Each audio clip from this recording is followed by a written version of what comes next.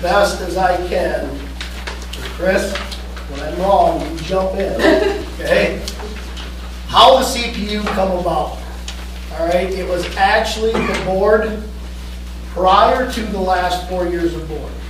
It was before I got on this board that the thought of this come about. Correct? Mm-hmm. So as we come on the board, we found out that this was going on. None of us on the last board really knew about it until it come in front of us. Now, as we began the process, there was a budget laid out in front of us. Projected revenues put out by the postal service. Those projected revenues were hundred and up, that this thing would be bringing in a year. And it would be able to pay for itself. And not only pay for itself, it would be able to pay back the twenty-five thousand dollars that we were gonna use to build out the area of the old fire barn and get this all set up. It was so much gonna pay it back that we actually set the fund up as a loan. So as this goes on over the first year, we have this, that fund looks like it's negative twenty-five because it owes back the other fund. But we get a letter from the state. Uh-uh, you can't do that, folks.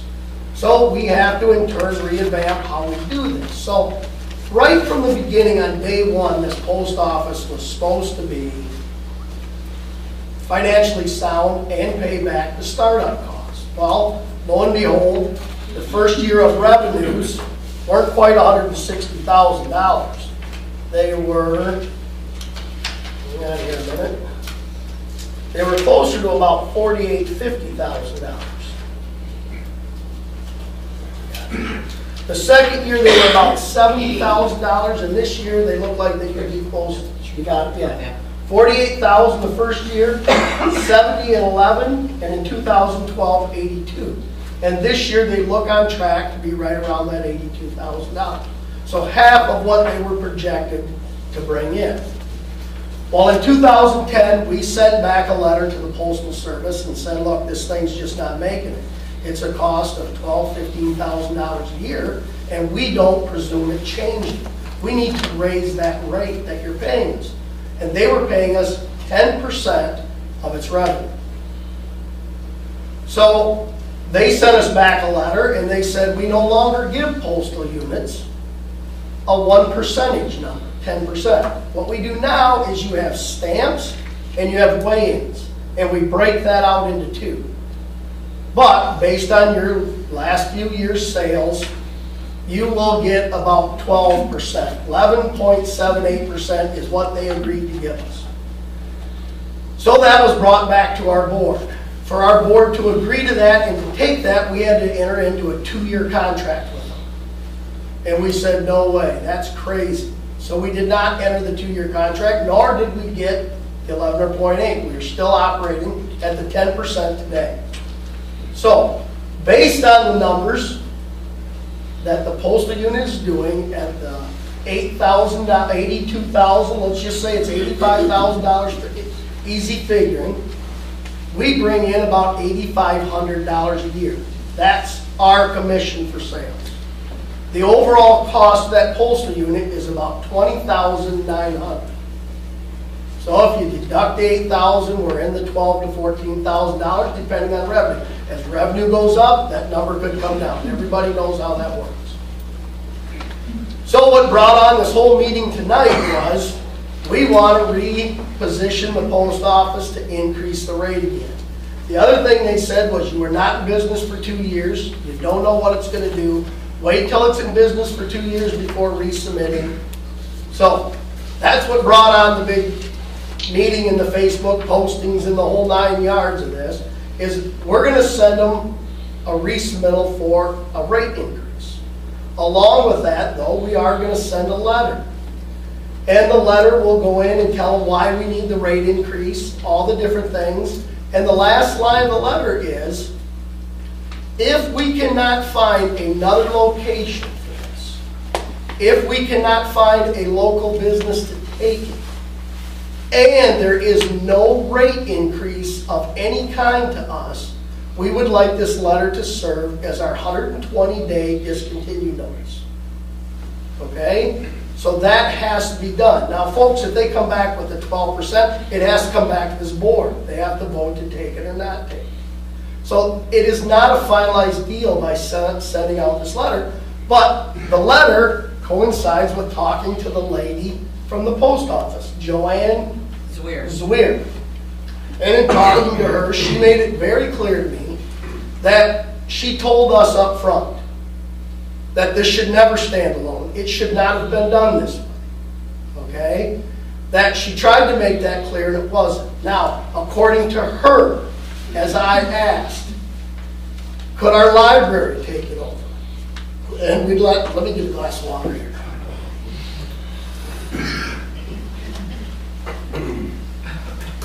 Escape.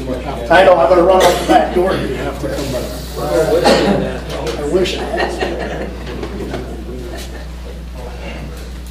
Put your hat back. I would feel better if I had it on. Okay, so anyway, in talking to her, she also made it very clear that the library cannot take it. They are a different unit of government, and for that to happen, we would have to close the doors. They would have to re-petition and bid it and the whole process. The same goes along with it going to any other business in this town. We cannot give it to another business. Jeans, uh, Michelle's, any of them, Joyce at the hardware, nobody can take it without the doors first closing. So if that becomes an option, we still have to submit this 120 day notice. This has to be done. Now, that lady was very clear, Cindy, and we will have a discussion with the lady at the post office in Newaygo versus her. She said absolutely no post office boxes out there. These We were not These set are up. private, this is a private company. Okay, so that's something totally different. So Yeah. she said they will not give us US postal post office box. That's not even an option for us. So those are the discussions that I've had with the lady right from the po- post office. She did not recommend this, and that was the last thing she said with me, is I knew it wouldn't work because it should never be alone. The whole idea of these things are, they are open hours that the post office is not. That's why you put them alongside a convenience store like Michelle's would be perfect. They're open eight to eleven and you can do your postal stuff all those hours. It gives people more options. That was the whole design of them. And this is the only standalone one they have. There are no other standalones. All the other ones are with businesses. Yes, ma'am. Dawn Star. Wasn't it true, though, that no one in town wanted it? Is Dawn, not only was that true, it is still true today. That has not changed. And there's a letter in here about looking for things. I've been to every business, folks. Every one. I've talked to them. They don't want it. I have one guy that finally gave me a maybe. Okay? That's all I got, a maybe. You're don't referring to want- businesses that don't want Yes. it, not, not people don't. Yeah. No, no, not the people. The businesses will not take it over. We've tried. Again, the letter says, why aren't you looking at other businesses? We looked twice. This isn't the first time we've looked. We've been trying. Okay? We're also still exploring the option of the campground. Okay? This could go alongside the campground and over there. We can have two people or one person doing two jobs, checking people in, campers in, and mailing a package. That's what it's supposed to do. That is an option we are exploring. That is not done and gone. I have a question. Yes, Sally? If you are exploring that option and you don't have an answer yet, why is the 120-day uh, letter of discontinuance being sent at the same time until you have all the answers? That Well, doesn't make sense. One of the reasons I'm sending it along is per the conversation with this lady, and you guys can run out and blab this or do whatever you want with it. It may or may not help us.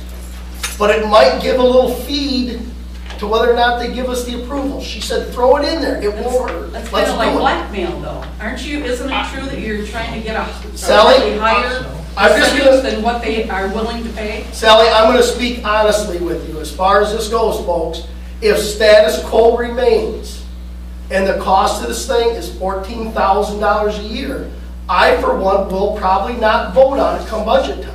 Okay, can I Okay? ask So I'm another just, question? I'm laying it right out front. I want to ask another question. Yep. What, uh, other services, the general fund is for services to the community. What Correct. other services is this money going to provide to this community Well- if the post office closes? One other thing in the letter, Sally, that went out is that this township rarely spends all of its budget money. And where will this money go? This township, for four out of the last five years, has been over budget. Okay? Now, there's two ideas of under budget and over budget in people's mind. Our federal government's a prime example of. Okay? I believe in being at budget or under budget means whatever you bring in is what you spend. That's your budget. But some people believe, as do our government, that if you have expenditures more than your income, the federal government will borrow the money and make it even, or you can go to your savings, your fund balance, bring it out, put it in your budget, and your budget is now balanced. Okay? I don't believe that's a balanced budget. I believe we overspent by thirty, forty, fifty thousand dollars. And for the last four out of five years, we have been over. Our general fund has depleted. Okay? Last year, we were fortunate enough that revenue sharing with the state went up enough money that we were able to put a significant number back.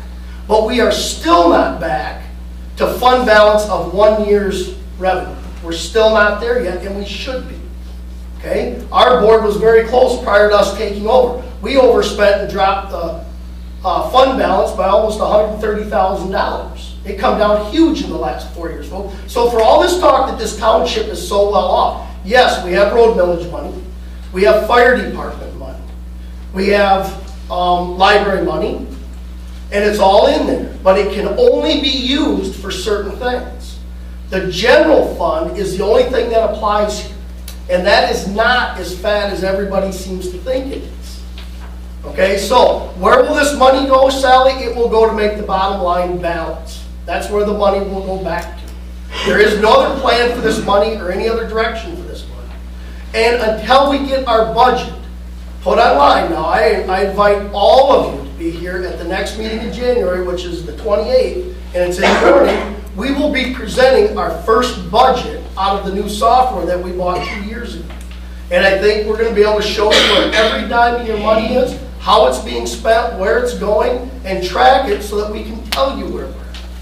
But as of right now, it's a little difficult, so. Where that money will go, Sally, it will go back into the general fund. There is no plans of it to go anywhere else. Yes, sir. Morgan, and with, uh, with the post office, can, can you adjust the rates and charges for the, for the services they No, provide? Or we- do you have like a locked-in? The post office sets those fees and those costs. That's that. All we can do is negotiate the percentage they send us, the commission. Let me give you an example. Yeah. I sent out a bunch of documents, and I was up at Big Rapids, so I went through, uh, uh, UPS. Yeah. And uh, it was like 80, 85 bucks. And they, they, the- I didn't read the copies when I was there, so I got home, found out they left some, you know, sections out, so I had them uh, copied again. And then I uh, took them to the post office to mail them out, and it was like 12 bucks or something like that. It was, you know, the, I mean, I'm all for, you know, the free market system, believe me, but if there's a way to make money, we need to advertise these guys. Jim, if we can charge just you more, we will. Yeah. They know, That but was again, part of the US Postal Service, I mean, folks, understand, that whole service has problems. I Yeah, have- right, I have, I have very, very good friends at UPS who seem to think they might not be around much. Yeah, no, They have their struggles. But these guys are doing marvelous with a nickel budget. Yeah, and understand, this is nothing to do with the reflection of the employees that work at their post. They are exemplary, they do a hell of a job, the people in this community love them. I supported very much putting those ladies in place the day we did it. I think it was the best choice we could have made as a community. Is there anything, is there any fund that you can access to advertise, you know, get out and use the post office and you can keep it here for, and could you extend that notice of, you know, discontinuance instead of 120? Could you make it 365 days and give it a shot? If it's increasing every year, We, we don't Go in the right have direction. the, again, that letter, I firmly believe, and, and I think I can speak this very safely, that they're gonna come back with the same percentage of increase. They're not gonna send back a letter of no, nothing. I, I, I would highly doubt they offered us twelve percent before, and now they're gonna say nothing. They do not want a single percentage unit anywhere. So they want to split the percentage, and they're gonna give it in different measurements, and I've applied for that in the thing I filled out for the rate increase, on what they wanted in their percentages. I believe they're gonna send something back to us, so then this is coming up again, Jim. It will come back to the board, and during budget time is when the actual deciding factor of this is gonna be done. If this board deems it to budget twelve thousand dollars to take care of that postal unit, it keeps going. The letter of discontinuance just goes away. And if we take the new percentage, it definitely goes away, because they're gonna want a contract out. So thi- this is nowhere near done. Like I said, the letter of discontinuance was addressed with the lady from the post office. I didn't put it in there. She said it would be a good idea, so I slid it in and let's get this to her and see what kind of rate increase we can get. We've done everything they've asked for.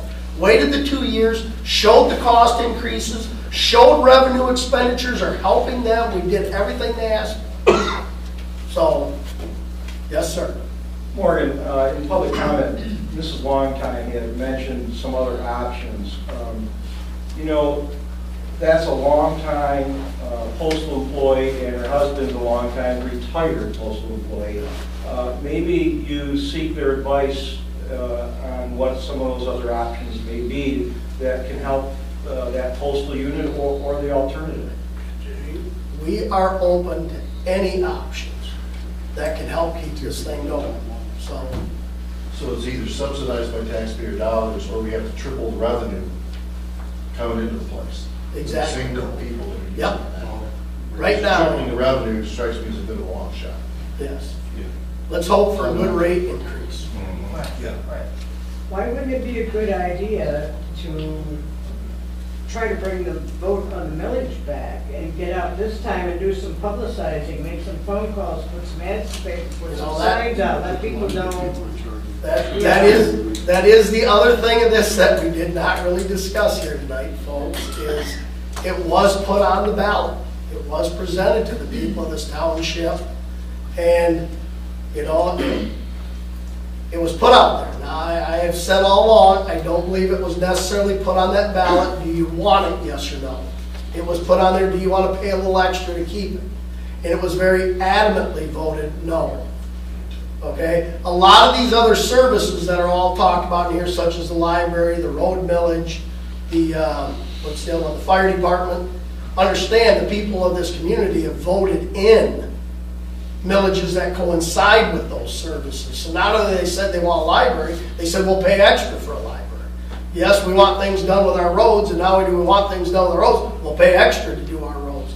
Yes, we want a fire department, now all along we've special assessed for the service, but the people said, we want a new fire barn, and they voted it in to build one. So those things were voted in and done, people say they want. People very happily voted no. Okay, so that is an option, to come back and put this on the ballot again. The people can petition, get a committee together, get it going, get a push for that. You know, the last time, nobody campaigned. There wasn't one sign put out, nobody went out and campaigned for this postal not one person. So, yes, sir. Uh, if you can't increase your cost, or your income, the other option is to decrease your cost. So by cutting back to three days a week, or whatever, you could cut your If- dramatically. If you believe that the cutback, the people will still get there on the three days.